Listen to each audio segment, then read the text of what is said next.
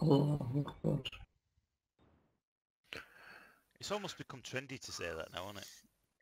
Yeah, to pretend to be an Allah snack bar. You bar. got that backward. You can say Allah Akbar all you want, but it's not Allahu gonna fucking Akbar. save you from that Hellfire Shut missile, up. bitch. Shut up. Allahu Akbar. Allah. Bello, bien positivo, sí, The sono guy's positivo. saying it Nah. sounds about 12 years old.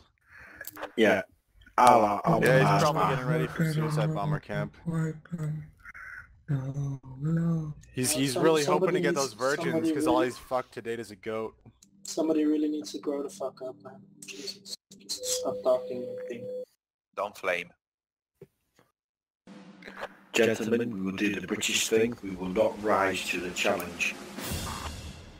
What is the next one?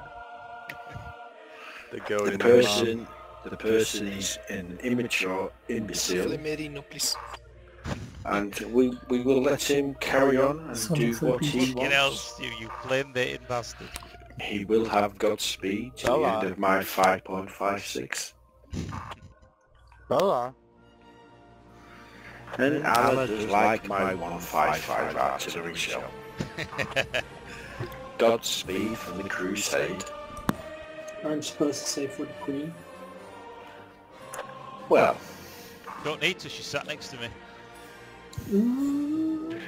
you know, being an honorary member of the United Kingdom, you may raise a glass for Her Royal Highness, Queen Elizabeth.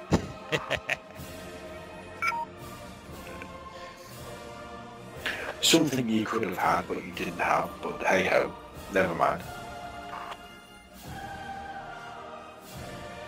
I think you've stunned him into silence, Stu. I've bored him to death.